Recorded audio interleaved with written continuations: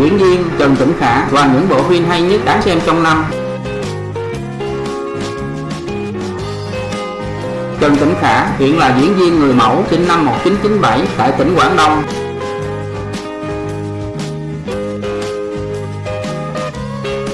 Trần Tĩnh Khả cao 1m87 có sở thích chơi thể thao, môn quyền Anh và đánh quần vợt.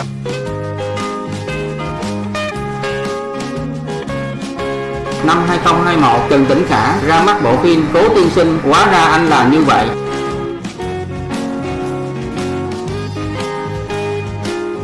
Đóng cặp cùng diễn viên Nghiêm Chí Siêu trong câu chuyện tình yêu đô thị thời hiện đại.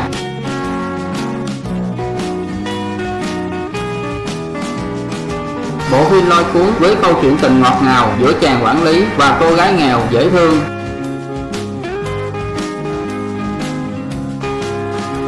Năm 2020, Trần Tĩnh Khả đóng bộ phim Hội quy tứ thời ca Cẩm ngôn chuyện.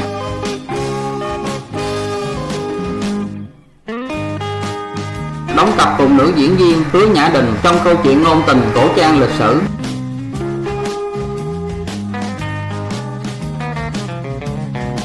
Bộ phim hấp dẫn với những màn tung đấu trong kinh thành của nàng tiểu thư để bảo vệ tình yêu.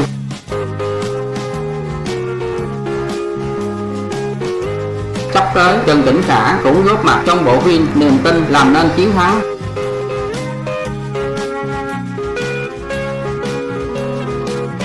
Bộ phim với đề tài xã hội lịch sử quy tụ hơn 30 diễn viên tên tuổi danh tiếng hiện nay. Hy vọng mọi người yêu mến và đón xem bộ phim đang được nhiều người kỳ vọng.